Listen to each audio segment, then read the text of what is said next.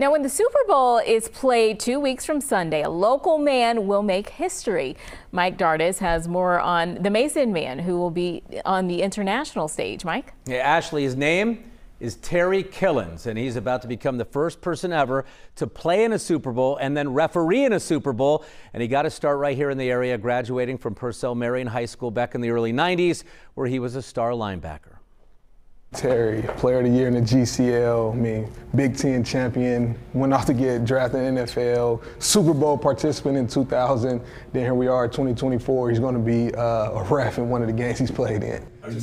Uh, so I spent some time today with Purcell Marian, co-athletic director Jamar Mosley. That's Terry's jersey when he played for the Titans, Super Bowl 34. They lost to the Rams in the famous ending when they fell a yard short of forcing overtime on the game's final play.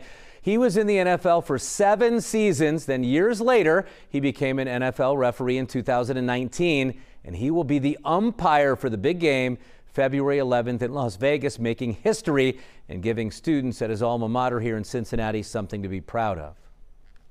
Our current students would just say, hey, he sat in those same seats that, that, I'm sitting in now.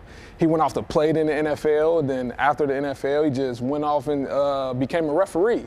And then, I, like, like I said, I think it just serves as a huge inspiration that if he can do it, I can do it.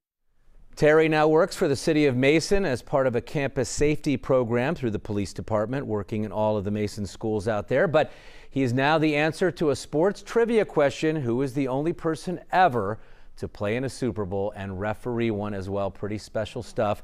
And you probably want to hear from Terry Killens about the milestone. I do too. Uh, Terry and I have been texting back and forth for the last couple days. The NFL will not let any official speak with the media before the big game, even for a fun feature like this. Wah, wah. so we're going to catch up with Terry after the Super Bowl. I told him, NFL, I'm not going to ask controversial questions. I'm not going to talk about the holding penalties you call. I'm not going to talk about any of that. But they, they were having none of it.